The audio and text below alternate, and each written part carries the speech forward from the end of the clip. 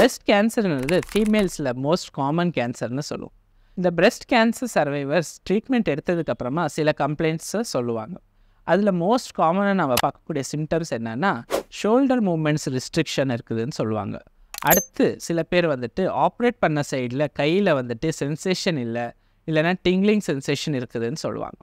மூணாவதாக நம்ம பார்க்கக்கூடிய சிம்டம்ஸ் அல்லது கம்ப்ளைண்ட் என்னென்னா ஆப்ரேட் பண்ணியிருக்கக்கூடிய கை கொஞ்சம் வீக்காக இருக்குதுன்னு சொல்லுவாங்க. இந்த மாதிரி சிம்டம்ஸ் இருக்கக்கூடிய பேஷண்ட்ஸ் என்ன பண்ணணும்னு நம்ம இந்த வீடியோவில் டீட்டெயில்டாக பார்க்கலாம்.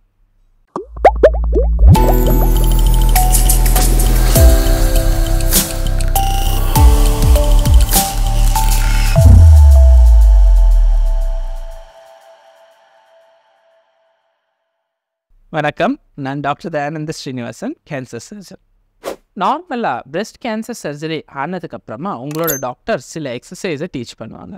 அந்த எக்ஸசைஸில் என்ன பண்ணுவோன்னா நம்மளோட கை ஆப்ரேட் ஆன கையை வந்துட்டு நம்ம ஷோல்டரில் இருந்து மேலே அதாவது தலை வரைக்கும் இப்படி தூக்க சொல்லி எக்ஸசைஸ் சொல்லி கொடுப்பாங்க இந்த எக்ஸசைஸ் இனிஷியலாக பண்ணும்போது அந்த ஆர்மை ரெஸ்ட்ரிக்ட் பண்ணுற மாதிரி இருக்கும். அல்லது கை இழுக்கிற மாதிரி சென்சேஷன் இருக்கும். ஸ்லோவாக இந்த எக்ஸசைஸை ப்ராக்டிஸ் பண்ண பண்ண அந்த ஷோல்டர் மூமெண்ட்ஸ் இம்ப்ரூவ் ஆக ஸ்டார்ட் ஆகும். இந்த ஷோல்டர் எக்ஸசைஸை நீங்கள் at least eight to ten times கண்டினியூஸாக ஒரு நாளைக்கு டூ ஆர் த்ரீ டைம்ஸ் பண்ணுறது மூலமாக இந்த ஷோல்டர் மூமெண்ட்ஸ் இம்ப்ரூவ் ஆக ஸ்டார்ட் ஆகும்.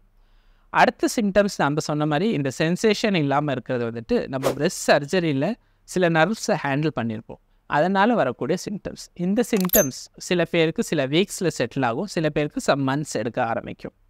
ஆனால் இந்த சிம்டம்ஸ் வந்துட்டு அதுவாக செட்டில் ஆகும். ஸோ இந்த சிம்டம்ஸ் இருக்கிறவங்க டென்ஷன் ஆக வேண்டிய அவசியம் இல்லை.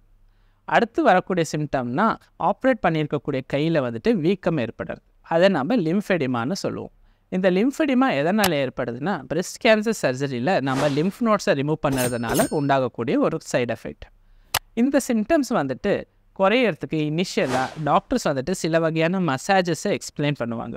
அந்த மசாஜஸ் பண்ணுறது மூலமாக அந்த கையில் இருக்கக்கூடிய வீக்கம் குறையேறும். அடுத்து சில பேருக்கு இந்த வீக்கம் அதிகமாக இருந்துச்சுன்னா கைக்கு அணியக்கூடிய ஸ்டாக்கிங்ஸை கூட ரெக்கமெண்ட் பண்ணுவோம்.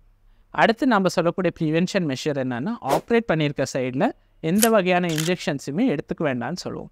இந்த மாதிரி உங்களுக்கு பிரெஸ்ட் கேன்சர் சர்ஜரிக்கு அப்புறமா எதனா கம்ப்ளைண்ட்ஸ் இருந்துச்சுன்னா நம்ம கமெண்ட் செக்ஷனில் பதிவு பண்ணலாம். நன்றி.